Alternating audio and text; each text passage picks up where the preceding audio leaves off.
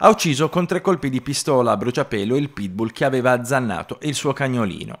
Una vendetta animalesca, quella messa in atto da un 59enne di Molfetta, adesso arrestato dai carabinieri con le accuse di detenzione illegale di armi e munizioni da guerra e ricettazione, oltre che per uccisione di animali. L'intervento è scattato a seguito delle segnalazioni di alcuni cittadini che avevano udito alcuni colpi di arma da fuoco provenire da un cantiere.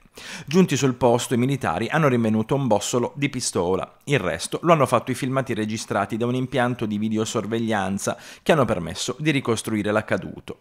Dopo che il pitbull aveva ferito il suo cagnolino, trascinandolo sotto una pensilina, il 59enne, custode in un deposito di materiale edile, ha impugnato una calibro 9 detenuta illegalmente e ha esploso tre colpi contro l'animale, uccidendolo.